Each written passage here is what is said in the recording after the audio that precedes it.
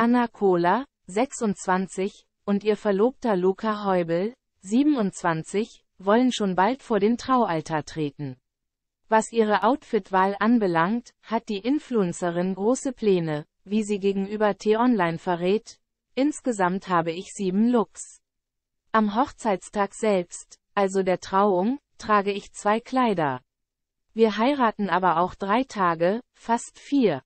Deswegen müsse für jede Feierlichkeit ein bzw. zwei neue Looks her. Die standesamtliche Hochzeit, die Trauung, es wird ein Get-Together geben und einen Brunch nach der Feier.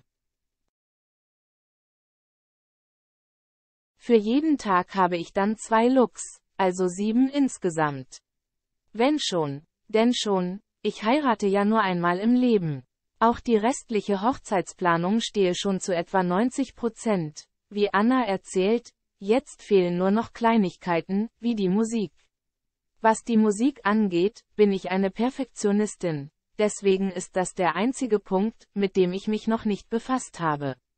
In drei Monaten ist es soweit.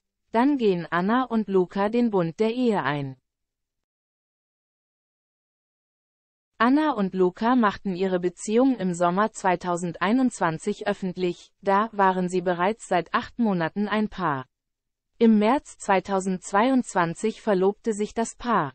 Seitdem laufen die Vorbereitungen auf Hochtouren.